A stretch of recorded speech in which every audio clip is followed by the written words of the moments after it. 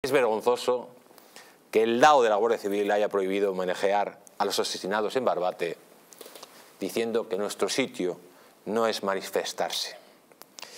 Pero más vergonzoso es, amigos, lo que está pasando en la Guardia Civil. Jucil, la Asociación de la Guardia Civil, atención, ha deslizado hoy en un programa de radio de Onda Cero una sospecha sobre los motivos que llevaron directamente a Marlasca y a Pedro Sánchez a cerrar el Ocon.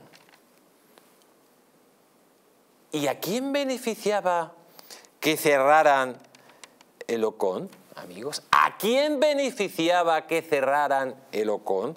Pues las asociaciones de guardias civiles denuncian que iban eh, directamente, el OCON estaba acabando con el narcotráfico, amigos. Estaba acabando con el narcotráfico. 12.000 detenidos. 12.000 detenidos. Lo voy a repetir. Señores jueces andaluces, presidente del Tribunal Superior de Justicia de Andalucía, fiscales, etcétera, 12.000 detenidos por narcotráfico por este grupo especial de la Guardia Civil. 35 millones,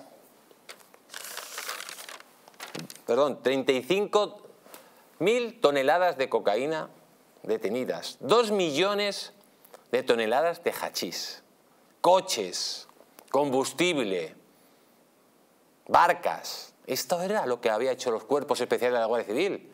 Había parado el narcotráfico en seco. Y de golpe y porrazo, en el 2022, dice Marlaska, se acabó, desmantelamos esta unidad que está acabando con el narcotráfico y dejemos que los narcotraficantes de España y de Marruecos pasen de un lado a otro sin tener trabas. Y Jucil desliza, ¿a quién beneficia esto? Amigos. ¿Acaso, como dice esta asociación de guardias civiles, puede que haya un acuerdo entre Mohamed VI y Pedro Sánchez que hubiera determinado que este cuerpo de élite que estaba acabando con el narcotráfico desapareciera, los desmantelaran? Porque claro, ya sabemos los chantajes de Sánchez, la cesión del Sáhara, la cesión de las aguas territoriales, del espacio aéreo, el Sihuana, y esto puede ser otra. Porque hay que decir que hay informaciones que presuntamente relacionan al rey de Marruecos con esta actividad delictiva tan despreciable. Y hay que recordar que Marruecos es el país del mundo que más hachís produce. Se lo voy a preguntar, señor Marlasca, ¿a quién beneficia la desmantelación de este grupo, de este grupo de Locom?